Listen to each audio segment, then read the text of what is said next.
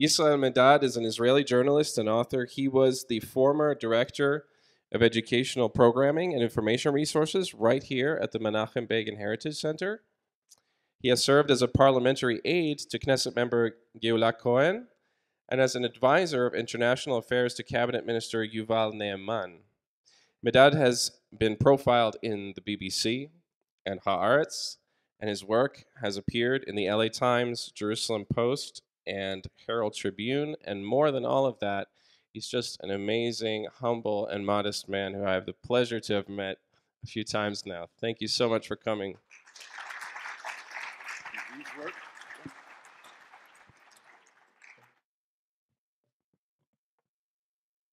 Can you hear me? Uh, thank you for inviting me here this morning. Um, my job is a little bit more difficult than everybody else.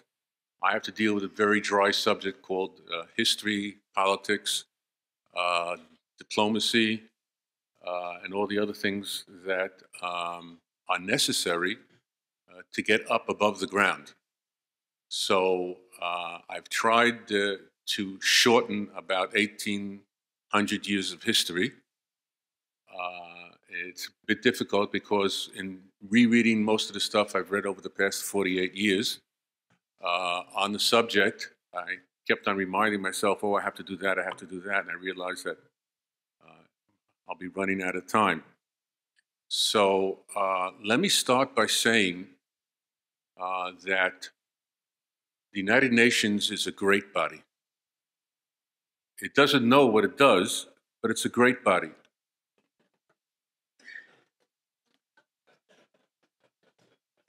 Last week, in honor of this conference, specifically timed, they decided that, let me see if I can see this here. There's no, there's no light up here, right? So I have to squint. Uh, that, uh,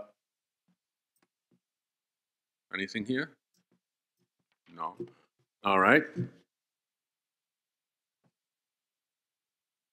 The Assembly reiterates that any actions by Israel to impose its laws, jurisdiction, and administration on the holy city of Jerusalem are illegal and therefore null and void. It also stresses the need for the parties to observe calm and restraint. Anybody remember last year and the uh, mego, whatever they call themselves, the uh, metal detectors on the Temple Mount? And to refrain from provocation, provocative actions, and calls for respect for the historic status at status quo at Jerusalem's holy places.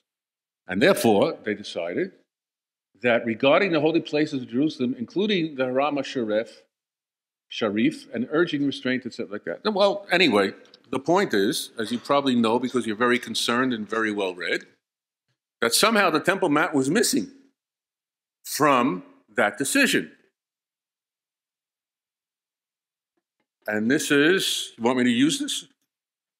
Look at that.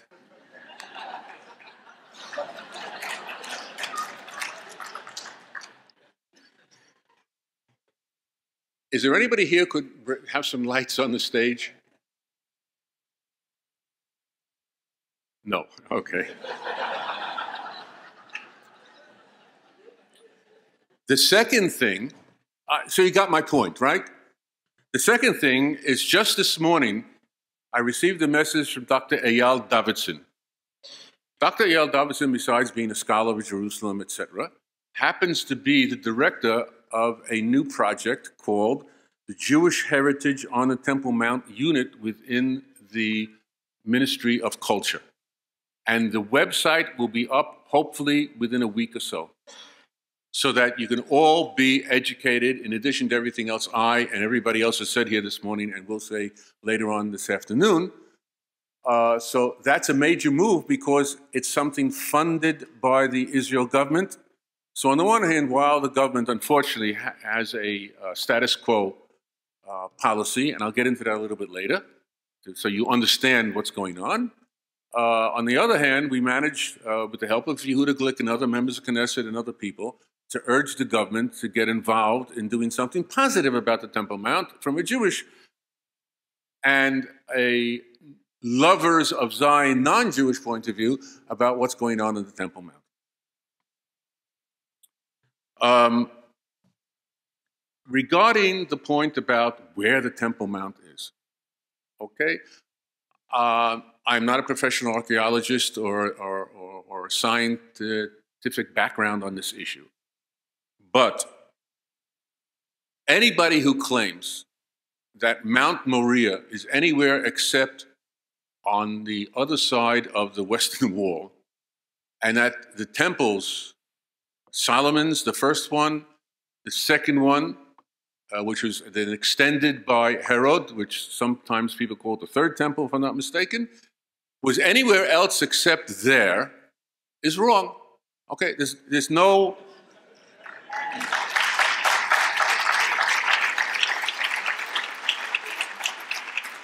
The previous speaker mentioned duality. I'm a Unitarian on this one, okay? There's only one answer, all right? The, one, the, let me see what I wrote down here, okay? Topography, the sources, the archaeology, the history, the documents, the architecture, ritual memories, literature, visitors, both Jewish and non Jewish, over the ages, the warning inscription that we have outside of Israel at the present moment, the, the Kia inscription, the, the sounding of the shofar inscription that was found, um, token vouchers that were picked up, um, uh, the golden bell that was found in, in, in, in the site, the mikvaot, the, rit- the ritual baths, uh, the eastern wall uh, masonry, um, refuse pots, okay, water cisterns, seals, the half shekel coin, everything that was discovered, floor pavings, everything indicates that you can rest assured that when you go through the one gate that non-Jews, uh, non-Muslims are allowed to go through, okay, which is now called after, uh, unfortunately, a child who was stabbed to death by an Arab, Halel, Ariel, that you are on the Temple Mount. And if I could lead a, uh, a, a, a guided tour up there without the police sitting on top of my uh, back, uh, that would be a lot easier to explain. So, okay, that's off the table. I've, I've treated that. So the first, I, I try to boil, boil down my remarks to three main issues. The first one, basically, I got off with, I think, very well. Where was the temple? On the Temple Mount. Okay, it's kind of easy. So keep that in mind. It's not called the Temple Mount because the temple was, according to Yasser Arafat, somewhere in Saudi Arabia or in Jericho uh, or, you know, it, it's kind of funny also if you think about it. Okay, the only place where we know that the Arabs don't know where Jerusalem is is the Quran because they claim that El Aqsa in the Quran is somewhere up in the Temple Mount, which even the Quran doesn't admit to. And uh, Professor Dr. Kedar uh, has, has given several lectures on the subject, exactly where it is, somewhere between Mecca and Medina. The second thing I want to do with you is to you, in order to understand the current political diplomatic issues, why you are being followed, or if you mention the temple instead of the mosque too many times, you might get yelled at. Uh, if your lips move too regular, uh, then you'll be um, upbraided, uh, and all sorts of other things. I'm going to go through some of the political issues uh, because I think it's it, it's a matter that not too many people are aware of, and if you don't get it from me, you're not going to get it. Everybody else on the, today's program will probably deal with everything else you want to, to need. I was picked to do something very specific, um, and so that you can understand uh, what that is. And of course, I'll start with a. I'll try to condense uh, uh, briefly the history because I think it's uh, an issue that will give you confidence um, in, in, in believing what you believe and in doing what you will be doing if you haven't been doing it already. Uh, just to give you a little bit of humbleness, I probably have been thrown off the Temple Mount more times than some people here have been on it. So, you know, you, there's a scale here which you have to uh, uh, uh attain. You're starting low, some of you. work your way up and everything will be okay. But the first thing I want to do is be serious for a moment and recall two Jews. One I do not know the name of. He was a blind Sephardi Jew who used to go from Kfar Shiloach, David's, uh, the city of David that you know today, up the hill into the old city, and he would walk to one of the four, what we call the four Sephardi synagogues that were built over the centuries, now located in the Jewish quarter, and he would uh, say some uh, psalms, as was usual. He was blind, okay, so everything was by heart, and uh, he would walk back it seems at one point in, in January of 1871, he got lost and most probably walked into the Temple Mount because he was found the next day thrown over the wall at the very bottom, and that's how he died. We don't know his name. I, I looked up the newspaper, Halevanon. Uh, the issue simply says the blind Sephardi Tehillim sayer probably got lost and walked in. Another, the other Jew I want to mention is um, Asher Itzkovich, Itzkovitz, who on the last day, what we call the seventh day of Pesach, Passover, as you know in Israel, we do not celebrate eight days, we celebrate seven because we know where we are outside the, the kind of lost on time and space and location. Spacey. And um, he had survived the Holocaust. He arrived in Israel in 46, if I'm not mistaken, from Czechoslovakia. And he and his friend had come up from Tel Aviv to celebrate the holiday. And they walked from the area of near Mea Sharim. For those who know Jerusalem well, you come down, you go to the, to the, the Damascus Gate, Shar Shchem as we know it in, in Hebrew, and began walking straight down the street towards the Kotel area. Again, he made a mistake like the other one and turned left into one of the gates of the Temple Mount. If I'm not mistaken, the Majlis Gate, where the Waqf offices are, and he was beaten to death. April 1947. So uh, I did that simply because there is a history to the Temple Mount. And it's not just about a struggle that started after 67. And we should always be aware that we're only continuing the history. And you can only continue the adventure of history if you know what came before you. If you don't, you'll find out you're up a tree too high and you'll fall off. You need the roots. Okay? I could have mentioned also four Franciscan monks. And I will do that in the spirit of Jewish Christian solidarity in 1539, I think, but in that in the 16th century, okay, they decided to preach to the Qadi on the Temple Mount. And when they say preach, they weren't talking about Muhammad and they weren't talking about Moses. They were arrested, they were taken to the Kishla up by the uh, Jaffa Gate, and after two or three days of beatings, they were decapitated, quartered, burnt. Nothing left of them. They're called the Four Martyrs of Jerusalem in the Franciscan Order. So sometimes not only Yehuda Glick can be in, in trouble because of dealing with the Temple Mount. In history, we've known other instances. To the subject at hand. The first thing you have to remember is that Jerusalem has been conquered, occupied, and the Jewish population repressed ever since the fall of the Second Temple.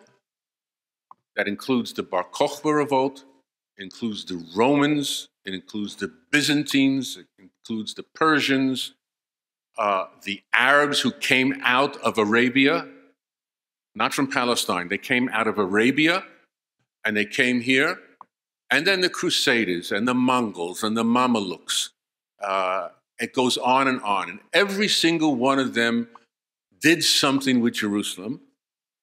In some cases, actually, we have a very positive attitude. There was a Byzantine empire, uh, uh, emperor uh, who decided that it came time for the Jews to rebuild the Temple Mount.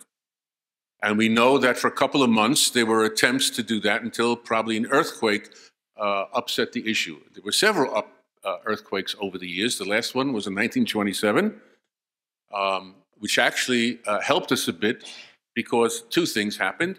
Uh, not too many people were of that. A fellow by the name of Hamilton, who was the chief archaeologist of the British Mandate, managed to get under the floor of the El Aqsa Mosque and find what was underneath some of the floor uh, coverings, uh, which revealed inscriptions and, and pictures and all sorts of things like that. And the second thing was that some of the beams that had held up the roof of the Al Aqsa Mosque were taken down. Later on, they were analyzed, uh, and we found out that several of them, I'm not, no, I don't know if it was more than three or four, probably have an age of the first temple. Okay, you're talking about Hiram, or Hiram as I would uh, uh, pronounce it, uh, one of the kings of uh, Lebanon. Uh, and so um, we're talking about a, an actual history. Um, it was alluded to before that some of us have too much belief in a spiritual sense. I'm talking about things that you can touch, things that you can analyze, things that you pick up a piece of paper and look at. So I'm, I'm trying to stay on the ground on this issue. So that was very uh, judicious uh, uh, discovery for us. Sometimes earthquakes can be a, a good thing. Not always. Um, we do know, and I think this goes to my first point about we know where the Temple Mount was. Despite restrictions and prohibitions and persecution, Jews were always striving and getting to and inside the Temple Mount at different times over those 1800 years. Jews were able to ascend during, especially Tisha B'Av, during certain periods. The Muslims even permitted them to oil the stone, okay, as a element of probably laughing at the one time that we get to respect the site. But there was a synagogue on the Temple Mount. We know that the Rambam, Maimonides, was on the Temple Mount. Uh, we have Jewish and non Jewish visitors attesting to all sorts of people being there and so, yes, there was a prohibition from about 1260 or so, and then it was redone uh, just after the, um, uh, the um, Ottoman Empire uh, conquest of Jerusalem in the early 16th century and only began to loosen itself somewhere in the middle of the 19th century. But Jews managed to get there, and other people did also manage to get there. And don't forget, as the Ridba at the Radbaz mentions, uh, David ben Zimra, who actually came from Egypt. You can go up on some of the houses bordering the Western Wall, north of the Western Wall, and from there look inside. Okay? No, they didn't have drones then. Okay, it was kind of difficult, right? But you could see. And there's a physicality in terms of how much is inside in terms of measurement, how many square meters, how many less than square meters, or something like that. And over the ages, measurements have been done and traditions have been strengthened.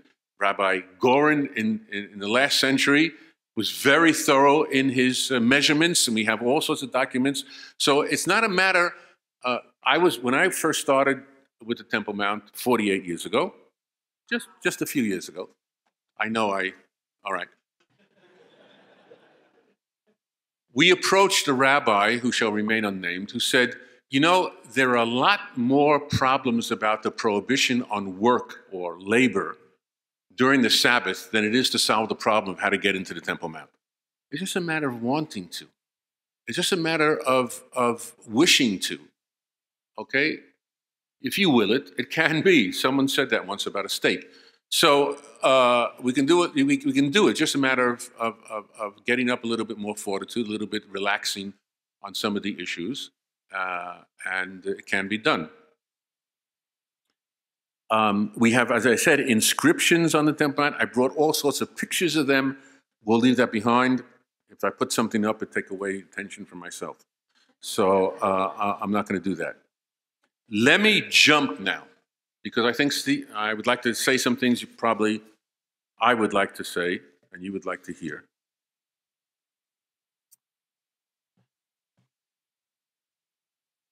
On the 15th of January 1918, in the British House of Parliament, uh, a member of Parliament named Mr. King asked whether, in consideration for the sentiments of Muslim subjects of the British Empire, it will be provided under the new regime established or to be established in Palestine that unrestricted Muslim control is secured of such holy places as the Haram al Sharif in Jerusalem and the sanctuary over the cave of Mahpelah at Hebron, being places regarded as part of the birthright of the Mohammedan world. That was his like parliamentary question. Now, from this question, you understand where we are today, 100 years later. 100, almost 101 years later, if my math is correct. Okay? In other words, one religion has the ultimate exceptional right to a holy place. I read you from the United Nations decision last week as if we don't exist. We, okay, and you too, actually. Right? We have no rights, we have no history, we have no national identity, we have no religious sentiment. Just wash it away. Okay? It was once a threshing floor, and now it's a mosque. The only thing I liked about Ehud Barak at the Camp David II summit in 2000, for some of you who were alive then, when Arafat, I don't know if you remember that, that issue there, but they, they wanted to divide the Temple Mount above ground Muslims, below ground uh, Jews. And I kept on getting itchy about that because the only thing below ground for me is a grave. So I, I didn't like, you know, I didn't like the intimidation about. But at one point, as I mentioned earlier, Arafat began saying it's somewhere else. I don't know, Jericho, Saudi Arabia, anywhere else but where he didn't want it to be. And I heard Barak said, when Jesus overturned the tables of the moneylenders, he wasn't in a mosque.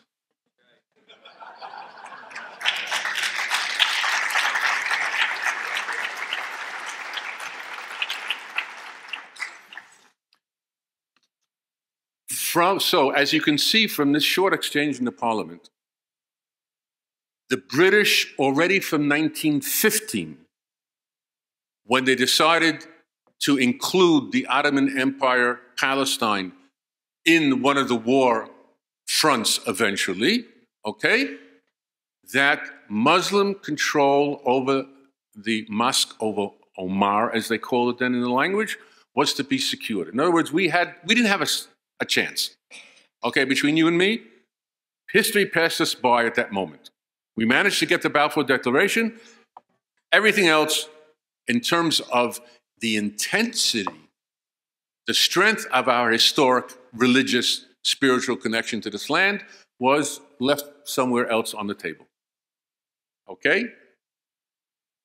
So that when Jerusalem was taken in December of 1917, immediately a division or unit platoon of Muslim soldiers from the Indian regiments that served with the British were placed on the Temple Mount. No one non Muslim goes in.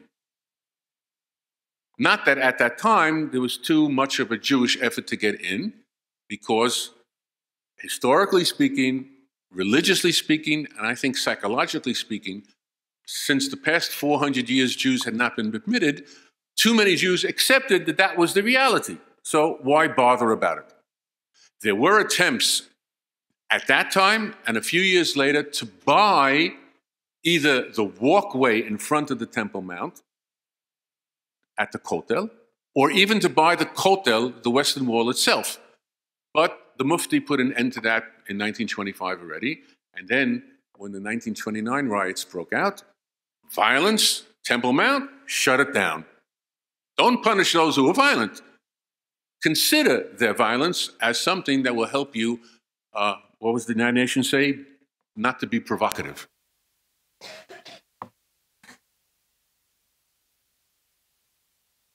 On um, Rosh Hashanah of 1928, there was an issue which led, I'm going to cut things short, an issue which led to the establishment of an official status quo on the Temple Mount. Many people do not know there was a British white paper of late November 1928 which set out a series of rules. And then after the riots, it was augmented. And so that Jews, if they brought chairs, they had to take them away. If they brought benches, they had to be portable, they had to be taken away. Lanterns at night had to be taken away. Only during Shabbat could they stay overnight. Partitions between the sexes taken away.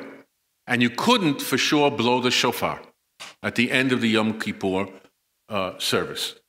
So from 1928, 1929, you have, I don't know how to describe it, psychological, emotional, whatever sense that the British have established a status quo. We only get to pray at the Kotel. We have nothing to do with the Temple Mount. Push it off. And as many ultra Orthodox have done, push it off till Messiah comes. Why get involved with that? And it's understandable. I don't accept it, but it's understandable. And so, a week and a half after the Six Days War, Moshe Dayan goes up to the Temple Mount, walks into El Aqsa, sits down with the Mufti and the Qadi. He has a friend who speaks Arabic, David Farhi, next to him, and they re-establish a that status quo, which basically reads Muslims administer the location from the walls in and control everything that goes on, on there. Jews can come in as visitors, not as owners, not as something else that you might want to call us, through one gate only. Um, so, in my youth, I have chained myself to the railing of the steps going down to ancient El Aqsa, underneath El Aqsa. I have pictures of me dragging like being dragged like a sack of potatoes outside. I don't do that now. My bones are not set up for all that rugged activity. Okay, so the issue is are we second class citizens? When, I, when our opponents all over the world claim that, everybody believes them on college campuses, in the United Nations, in other international legal forums right? Of course, Arabs are second class citizens in the state of Israel. It's obvious. I claim to be second class in just one small area of 144 square dunams, right? No one wants to believe me, or if they do, they say, not now, that's political. It's theirs. We signed a peace treaty with Jordan, which is not upheld, where religious tolerance, respect for the holy places in Jerusalem ought to be honored. You can look it up on Google. Israel Jordan Peace Treaty, Article 9. And yet, our Prime Minister, led by a former Secretary of State, John Kerry, had to go and, and make a public announcement in October of 2015 that the status quo remains. Jews visit Muslims pray. The background, again, is all through the British Mandate.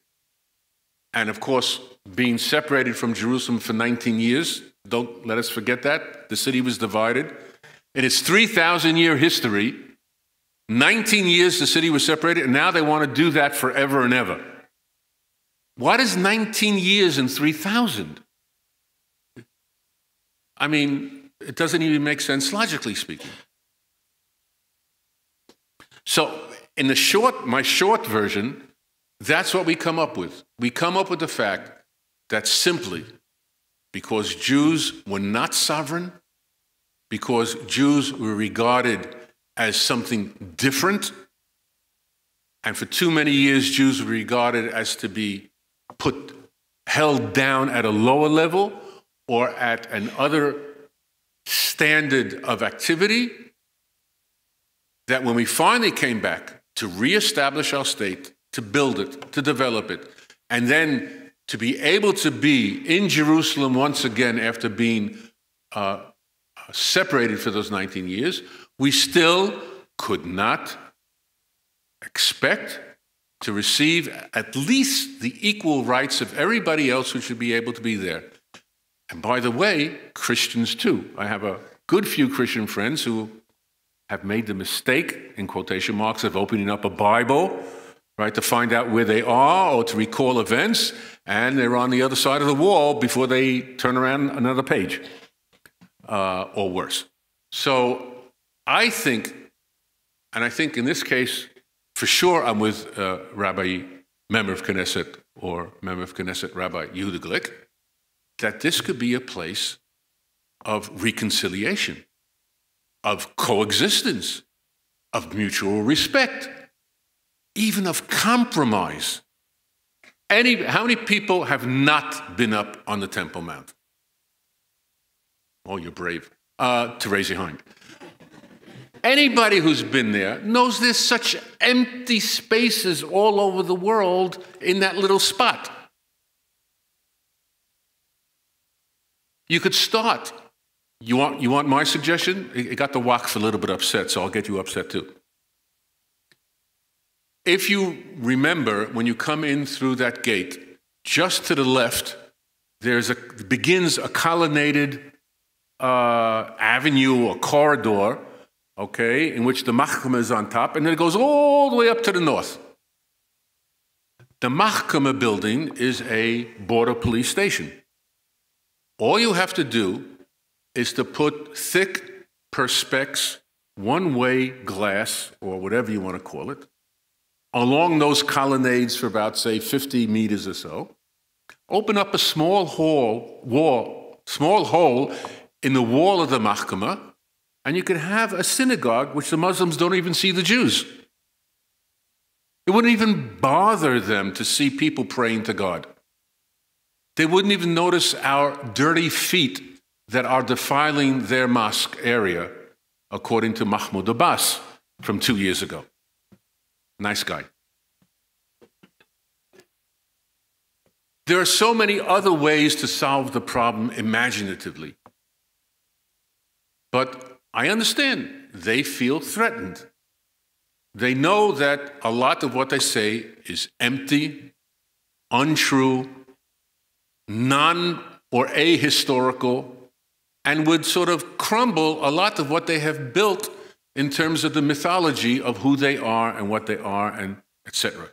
And would solve a lot of problems also of terror.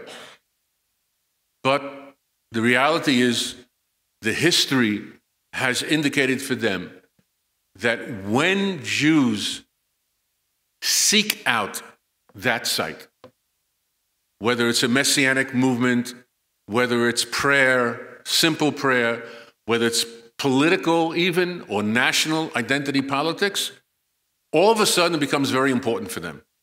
Check the history. Whenever Jews are not around or not asking or not demanding, it's overgrown. We have pictures from the Jordanian period. You can see the grass coming through all the rocks. You can see everything dirty no one's paying attention. It, boggles the mind, but think about it. If you are not what you are, except by what someone else wants of you, it's not enough. You have to be what you are because what you want to be. If there's nothing positive driving you, you're not there. Don't depend on someone else for praise and don't depend on someone else even for criticism, to challenge you. Be who you are because you are you. Um, with my remaining time,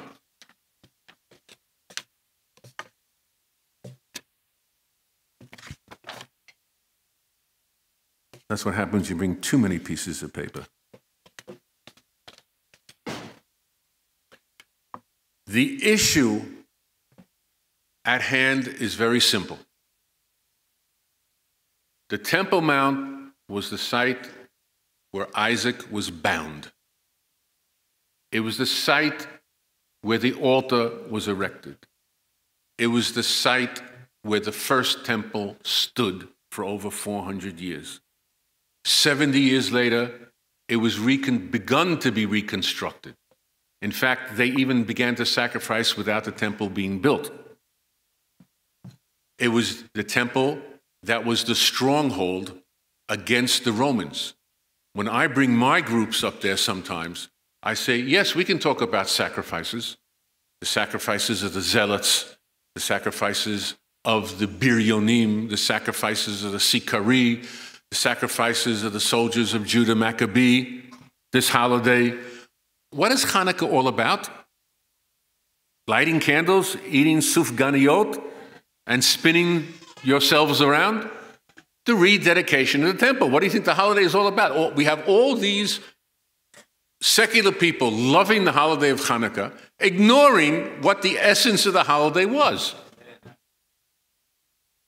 Okay, you don't want to be religious, or you don't want to be observantly religious or religiously observant. Everybody has his own decisions to make in life until they get to the afterlife. But okay. But don't you at least recognize and accept what the real essence of the holiday is?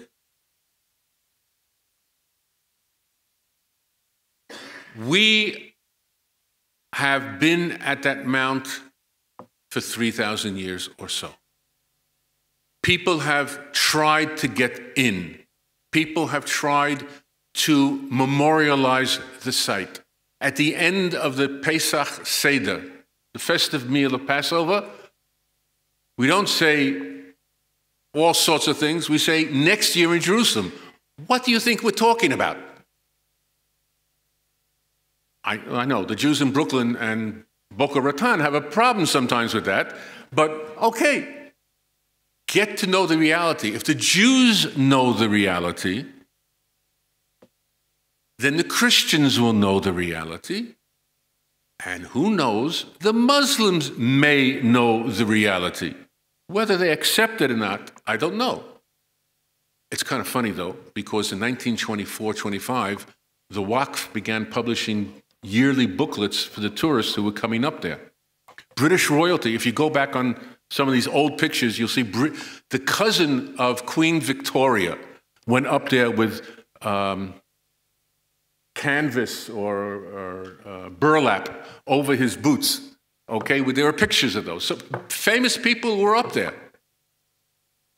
The, the president who just died, George Bush, right, the father, he was up there.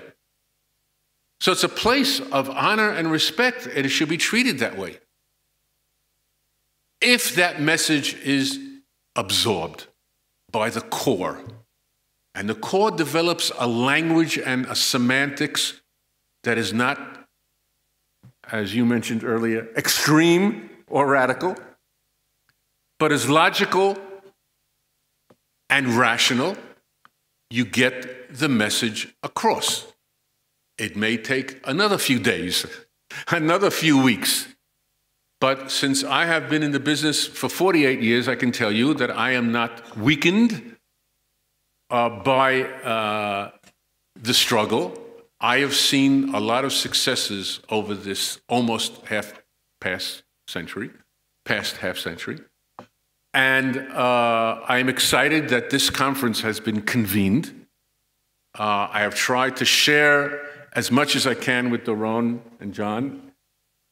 And uh, one of these days, the film might come out with my interview. It's deep in post production.